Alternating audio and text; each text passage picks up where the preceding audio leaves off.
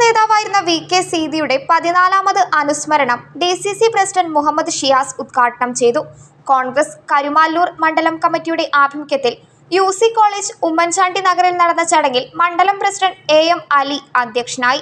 U C കോളേജിൽ വിജയിച്ച union ഭാരവാഹികളെയും പുതുതായി ചുമതലയേറ്റ മഹിളാ കോൺഗ്രസ് ബ്ലോക്ക് മണ്ഡലം ഭാരവാഹികളെയും ചടങ്ങിൽ ആദരിച്ചു.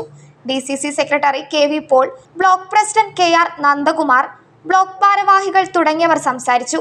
N light news Paravur